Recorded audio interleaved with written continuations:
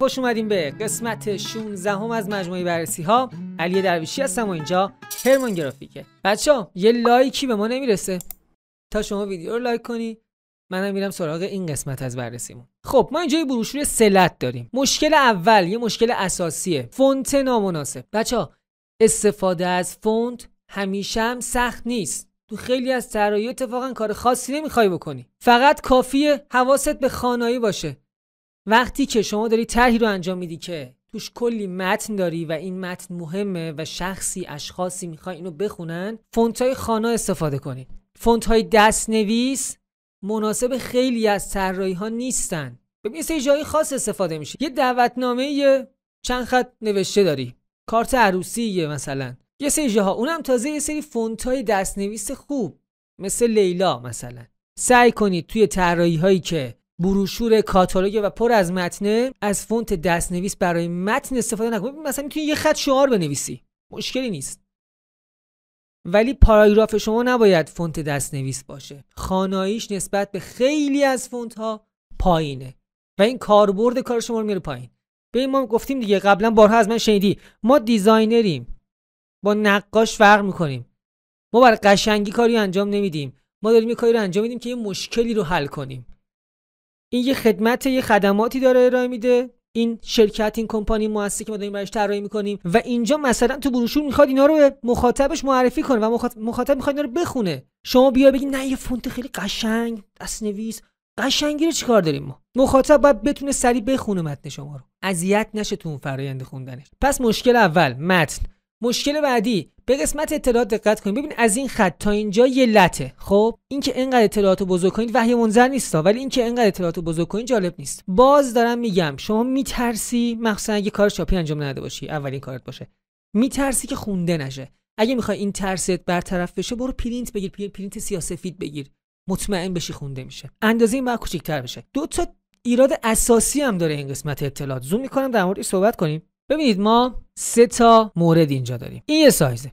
این یه سایز این هم یه سایز دیگه است. آره شما از من یه سری جاها شنیدی که آقا چیکار داری؟ مثلا location تا این سایزه شماره رو می‌تونی بزرگتر کنی که bold بشه. اون برای مثلا کارت ویزیته اینجا کارتو خراب می‌کنه و اینجا اتفاقی نمیفته شما بخوای سایز رو یکی کنی.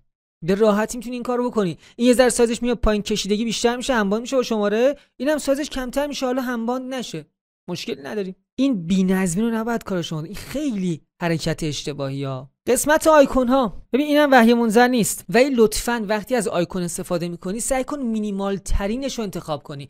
چرا این حرفو می‌زنم؟ برای اینکه ببین ما آیکون رو استفاده می‌کنیم که چیکار کنیم؟ که نشون بدیم این شماره است این فلان این فلان. اصلا نذاشتی هم نذاشتی. یه سری جا من میگم نذارین مثلا دیگه این شماره است دیگه اینم لوکیشن دیگه. ولی اونجایی که آیدی چیزی هست تلگرام اینستا چیه این؟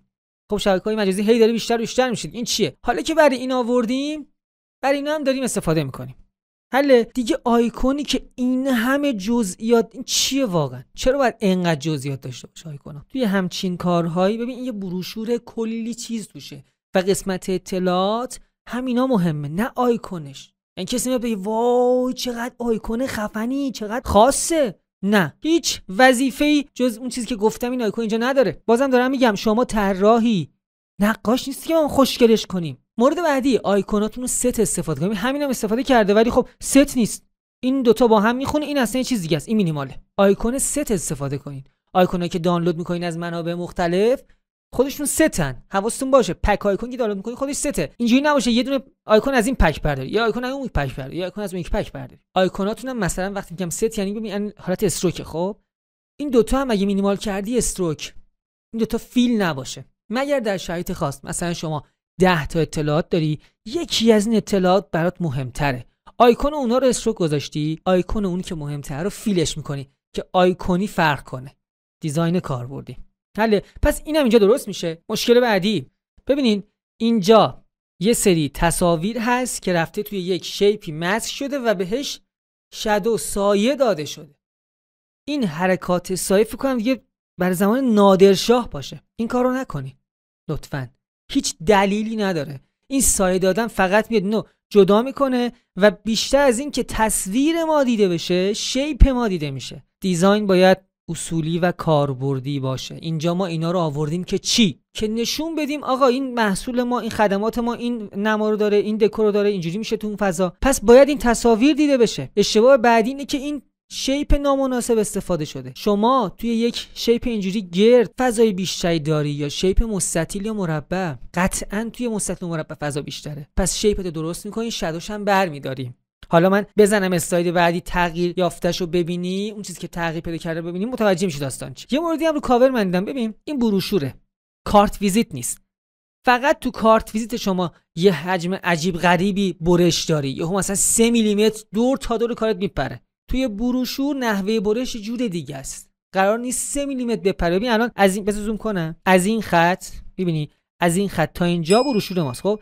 این اطلاعات رو آورده این ورتر. چرا؟ چون گفته خب نیم سانتم از اینجا می‌خواد برش بخوره. نه نیم سانت برش نمی‌خوره. خیلی خیلی خیلی برش بخوره یه میلیمتره. یه آدم نوب گذاشته باشم پشت دستگاه گیوتین دو میلیمتره. تو اطلاعات رو بذار وسط. یه ذره یه میل دو میل بیا این ورتر. نمی‌خواد نیم سانت بکشی این ور اطلاعات رو کاورت. تو این لطه وسط هم یه چیز اضافه ای ما کار کردیم که واقعا هیچ ضرورتی نداره. این استرو که قطعا خیلی متوجه شدین. اگه قسمت های قبلی بررسی ما رو دیده باشین و طرفدار بررسی ما باشین می‌دونین این چیه.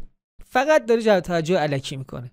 هیچ کاربردی هیچ کمکی به design ما نمی‌کنه و بدتر داره آسیب می‌زنه به design. پس اینم حذفش می‌کنیم.